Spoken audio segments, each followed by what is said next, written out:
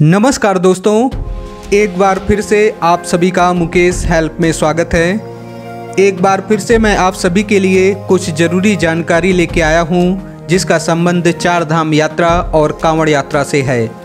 और आजकल सबसे ज़्यादा यही दोनों सवाल पूछे भी जा रहे हैं तो इस वीडियो में मैं आपको लेटेस्ट जो भी अपडेट है उसकी जानकारी दूँगा। तो बने रहें हमारे साथ और वीडियो को पूरा ज़रूर देखें।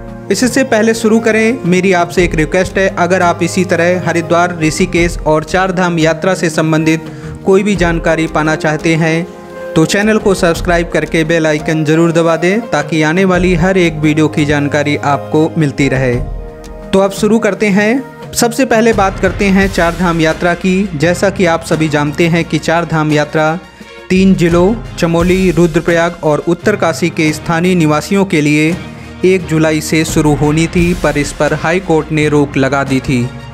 मैंने आपको ये भी बताया था कि प्रदेश सरकार जल्द सुप्रीम कोर्ट में चुनौती दे सकती है, और ऐसा ही हुआ।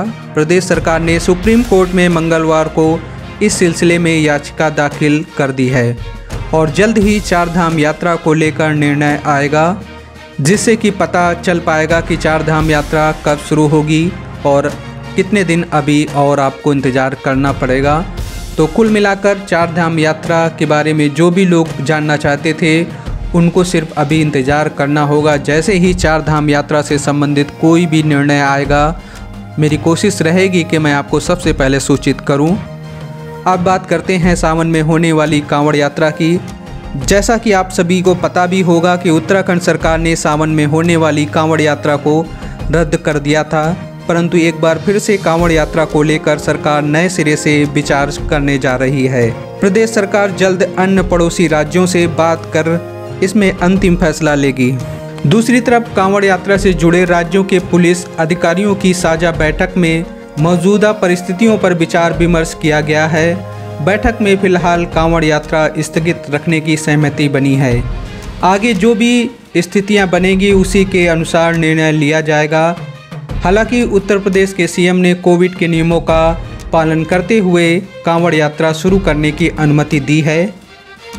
दोस्तों, उत्तराखंड के नए सीएम ने बीते रोज कांवड़ यात्रा के संबंध में उत्तर प्रदेश के मुख्यमंत्री योगी आदित्यनाथ से बात की, लेकिन अंतिम निर्णय लेना अभी बाकी है। जल्द ही उत्तराखंड के अधिकारी भी उत्तर प्रदेश और हरियाणा के अधिकारियों से कांवड़ यात्रा के लिए बात करेंगे। सभी के विचार जाने जाएँगे, इसी के बाद अंतिम निर्णय लिया जाएगा। कुल मिलाकर, अभी यह कह पाना कि कांवड़ यात्रा होगी या नहीं बहुत मुश्किल है। जैसे ही सावन में होने वाली कांवड़ यात्रा को लेकर कोई भी निर्णय आएगा, मेरी कोशिश रहेगी कि मैं आपको सबसे पहले सूचित करूँ। लेकिन इतना ज़रूर है कि दो चार दिन में कांवड़ यात्रा को लेकर एक बड़ा डिसीज़न आने वाला है। इसलिए चैनल से जुड़े रहें ताकि आगे की अपडेट आपको मिलती रहे।